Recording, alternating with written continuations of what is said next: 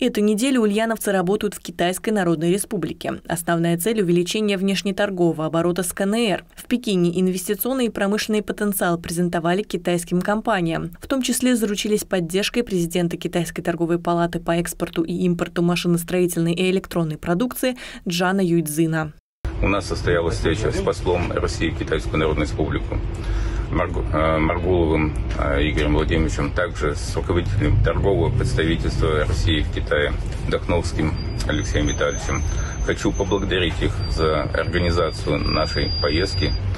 У нас состоялось, состоялись несколько больших встреч с представителями деловых кругов Китая, на которых приняли участие более 120 китайских компаний.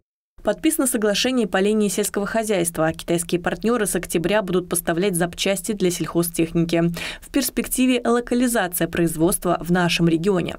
С компанией NTM Group, к примеру, обсудили перспективы запуска в регионе производства медицинских диагностических комплексов для фельдшерско-акушерских пунктов. У нас есть здесь давний партнер, компания NTW, с которой реализует в Ульяновской области э, проект э, медицинского оборудования, то есть кластер производства медицинского оборудования. И мы обсуждали дальнейшие перспективы развития этого кластера. Один из крупных китайских холдингов заинтересовался площадкой особой экономической зоны Ульяновск для размещения предприятий по выпуску грузовых автомобилей, автобусов и дорожно-строительной техники.